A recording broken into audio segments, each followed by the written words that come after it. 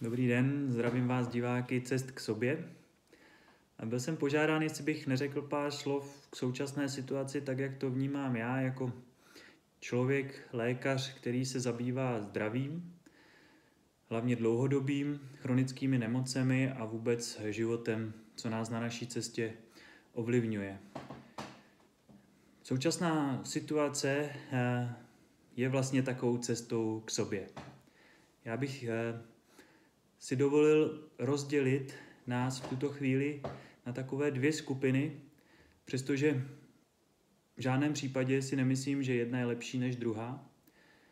První skupinou jsou lidé, kteří bych řekl, že na své cestě životem už jsou více vědomější, vdělejší. A e, pro tyto lidi, kterých předpokládám, že je většina z vás, kteří se budou dívat na toto video, tak je to zkouška víry, současná situace. K tomu bych dál něco ještě rád řekl. Pro ty, kteří jsou spíše v tom módu nevědomém, v tom módu, jak nazývám nejen já, takovým tím autopilotem, tak pro ty je to více, bych řekl, procházka peklem. Což neznamená, že lidé, kteří jsou více vědomí, že nemohou mít strach. S tím právě souvisí téma víry a toho, jak hodně jsme přesvědčeni o tom, že naše cesta na tomto světě má smysl a že život, tak jak je, má obrovskou sílu a věřím, že se nikdy nezastaví a nebude zastaven. Ta současná situace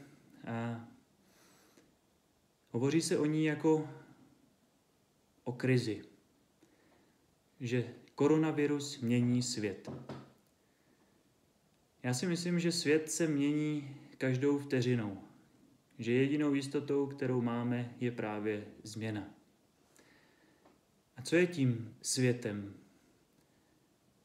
Pro mě tím světem je naše mysl. Naše mysl, která je nutna, nucena se změnit. Protože mnoho desetiletí posledních jsme právě žili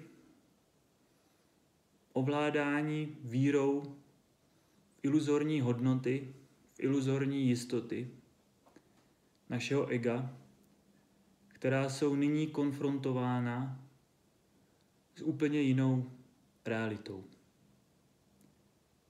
Svět, který je založen dominantně na rozumu, egu, technologickém vývoji, neustálém růstu, materialismu, tak vychyluje z rovnováhy běh událostí na tomto světě. A já jsem to mohl pozorovat každý den ve své ordinaci na každém člověku, který ke mně přišel s nějakými chronickými potížemi. Protože my nejsme odděleni od tohoto běhu událostí. My nejsme ušetřeni okolnostem, které to sebou přináší. Veškeré vlivy, které to nese, se propisují na nás. Protože právě my tvoříme onen svět. A když jsem pokaždé viděl dalšího člověka, který má nějakou chronickou nemoc, ať autoimunitní, nebo metabolickou, nebo onkologickou, nebo jiného typu, tak jsem tam začínal vidět a čím dál jasněji viděl určité principy sebedestrukce. A já dlouhodobě hovořím o tom, že my jako společnost jsme už před mnoha lety zapnuli tento sebedestruktivní program.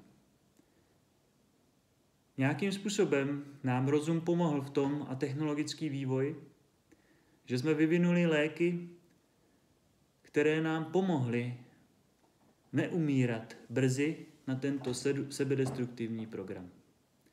Udržovali nás dále a udržují nás dále při životě právě v určitém nevědomí, ale rozhodně za cenu snížené kvality života a prožívání.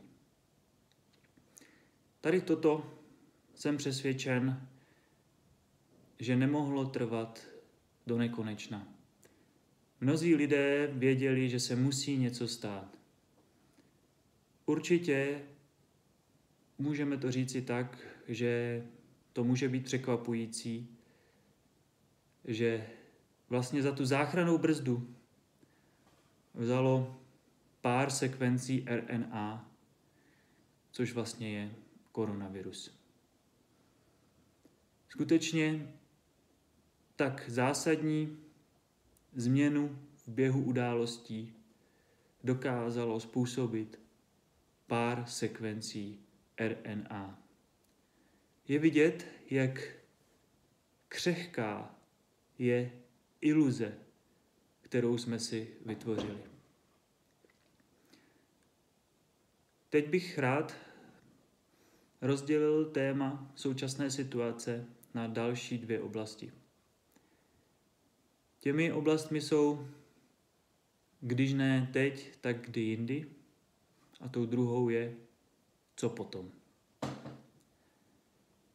To, co můžeme udělat nyní, je začít pečovat o sebe a o svoje blízké a klidnou zodpovědností a pevnou láskyplností procházet touto situací, která vyžaduje ode, vš- ode všech určitá omezení. Tyto omezení vždycky zvyšují dynamiku určitých procesů.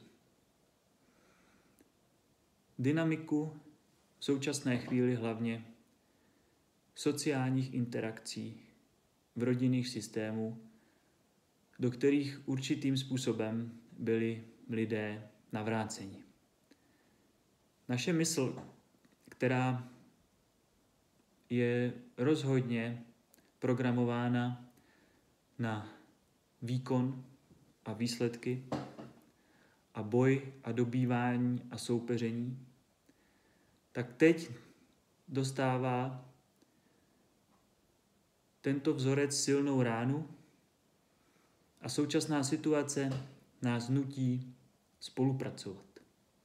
To, co by mělo být naprosto přirozené, jak na úrovni našich mikrosystémů, jako jsme my jako jedinci, jako je naše rodina, jako jsou naši přátelé, jako jsou naši spolupracovníci, jako je naše společnost na úrovni České republiky, Evropské unie a světa. Takže už jenom to, že současná situace překlápí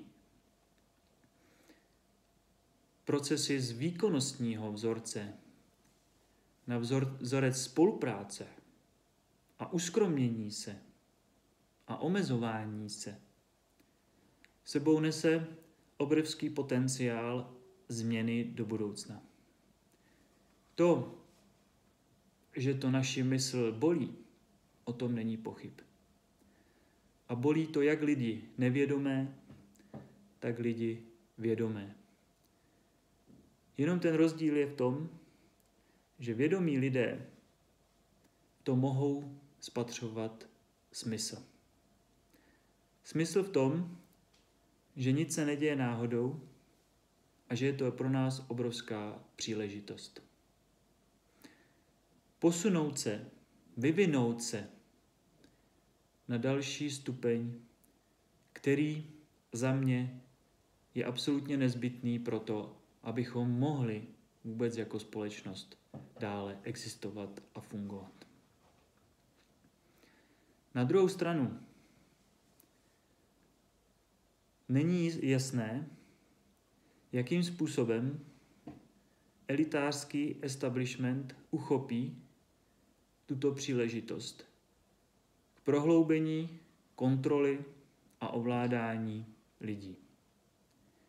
Tady spatřuju určité nebezpečí, které rozhodně stojí za pozornost A měli bychom být velmi vnímaví k těmto krokům, protože na jedné straně některé ty kroky z hlediska opatření mají samozřejmě racionální smysl, aby jsme omezili šíření této nákazy. Na druhou stranu, některé z těchto kroků budou zneužity a zneužívány. A myslím si, že bychom měli si vytvořit vnímavost k tomu, kde je ta hranice. Já dlouhodobě hovořím o zdravé míře, o hledání zdravého středu, souladu, který je naprosto nezbytný, aby lidé byli schopni být dlouhodobě zdraví. Protože zdravá míra, jak na úrovni životního stylu, tak na úrovni vztahování se k druhým lidem, na úrovni výkonu, je absolutně zásadní pro to, jestli budeme dlouhodobě zdraví či ne. A stejně tak se dá použít tohoto principu na další oblasti našeho života, jako jsou například opatření a omezování našich určitých svobod, které mohou být ohroženy. Nemyslím to teď pro následující dny a týdny. Protože já absolutně respektuji všechny opatření, která vnímám, že mají svůj smysl a přinášejí efekt z hlediska dostání pod kontroly šíření se nákazy. Nicméně za pár týdnů se jistě dostaneme do situace, kdy bude vytvářen tlak na to, aby my jsme pod vlivem strachu z proběhlých událostí akceptovali určitá omezení. Určitý zvýšený nárok na kontrolu nás jako jedinců. A to je něco, před čím bych chtěl velmi varovat, protože epidemie, jak řekl jeden, jeden moudrý muž, je sen mocných. Protože tímto způsobem se dají zavádět opatření, která by za normálních okolností nemohl člověk akceptovat. Takže já bych si velmi přál, aby tyto události vedly k tomu, aby se další mnozí lidé začali probouzet, aby vzali odvahu k tomu rozpustit některé iluze, které byly o tomto světě vytvořeny a vkládány nám do hlavy, abychom se posunuli jako společnost ke spolupráci od soupeření a abychom brali vážně téma zdraví, protože tak, jak ukazuje současná epidemie, koronavirus dělá čistku hlavně u lidí, kteří mají nějaké zdravotní potíže a zdravotní komplikace z hlediska chronických dlouhodobých onemocnění. To vůbec nedávám za vinu v žádném případě těm samotným lidem. Protože současný systém výchovy a výuky vede lidi k tomu, aby byli uspáni. Tak jako bdělé děti, které mají v sobě rizí moudrost, jsou postupem času uspání, tak takto je tvořena současná společnost, která je nemocná. Stačí se podívat na křivky růstu chronických onemocnění. Takže my musíme se probudit. My musíme převzít zodpovědnost za svoje životy. My musíme převzít zodpovědnost za naši společnost a ne být obětí ať vládního establishmentu, korporátu nebo kohokoliv dalšího, kdo si myslí, že my jsme pouze ovce, které budou krmeny nekvalitním jídlem, kteří budou neustále nuceni k ne nadměrným nárokům, výkonům, soupeření a tím pádem naprosto logicky v čase musí u těchto jedinců vzniknout chronická nemoc. Ještě navíc v souvislosti s tím, jak se chováme k planetě Zemi, kdy jsme otrávili naši půdu, kdy jsme otrávili náš vzduch, kdy jsme otrávili naši vodu. A to, že máme technologie, které nějakým způsobem kompenzují tyto naprosto nesmyslné destruktivní kroky, protože jde to jinak, neznamená, že to není nutno změnit. Že vám přeji a pro mě skutečně je to fascinující doba. Nečekal bych, že po těch letech, co se zabývám zdravím a životem, že se dožiju něčeho takového. Že se dožiju toho, že pár sekvencí RNA viru dokáže měnit kolektivní mysl. Samozřejmě uvidíme za pár týdnů, protože, jak už jsem řekl, někteří lidé si z toho něco odnesou, probudí se, změní svoji iluzi fungování ve svém životě, přehodnotí mnohé ve svém životě a začnou žít vědomým, zdravějším životem v souladu se sebou a s touto planetou. Někteří lidé se budou snažit této situace zneužít k tomu, aby ovládli a dostali pod kontrolu masy lidí a někteří lidé se vrátí do starých kolejí, tak jak to bylo předtím. V žádném případě s veškerou pokorou si nemyslím, že jedni jsou horší než ti druzí. Určitě ne. Vnímám, že všechno má svůj vyšší smysl, který v žádném případě nemůžu plně chápat. To, co mohu, je rozhlédnout se tady a říct si, co můžu udělat teď a tady pro sebe a svoje nejbližší, po případě proto, aby jsme nyní celou situaci zvládli. A zároveň v každý okamžik této situace si můžu reflektovat svůj systém přesvědčení, svoje vzorce chování, svoje iluze, které jsem si vytvořil a mohu je podrobit sebereflexi a mohu je začít přehodnocovat. Mnohé z toho, co se děje, mi už teď dalo velmi mnoho.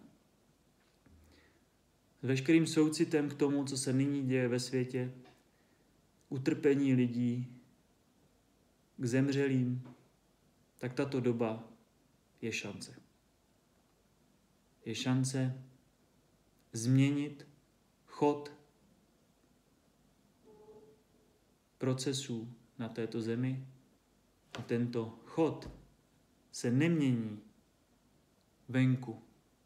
Protože zeptejte se ptáků, stromů a malých dětí, jestli je tento svět v krizi. Ten chod je potřeba změnit tady. A já věřím, že se nám to podaří. Přeji vám pevné zdraví, silnou imunitu, mnoho radosti, posilující radosti, smíchu, sluníčka, čerstvého vzduchu a překonejte tuto fázi života způsobem, která vám přinese do budoucna něco pozitivního. Už teď se ukazuje, že současné změny, které probíhají v Číně, se ušetří v budoucnu několik tisíc životů dětí vyčištěním současného prostředí. To znamená, že to, co dnes se děje, s respektem a soucitem ke všem zemřelým a které, kteří v současné době trpí, tak už teď se ukazuje, že to zachraňuje budoucí životy. Takže pojďme si z toho vzít to nejlepší, pojďme dělat, co můžeme teď a tady a pojďme se z tohohle stavu poučit a vyjít jako jiní lidé z hlediska fungování naší mysli. Ať nám v tom pomáhá Bůh.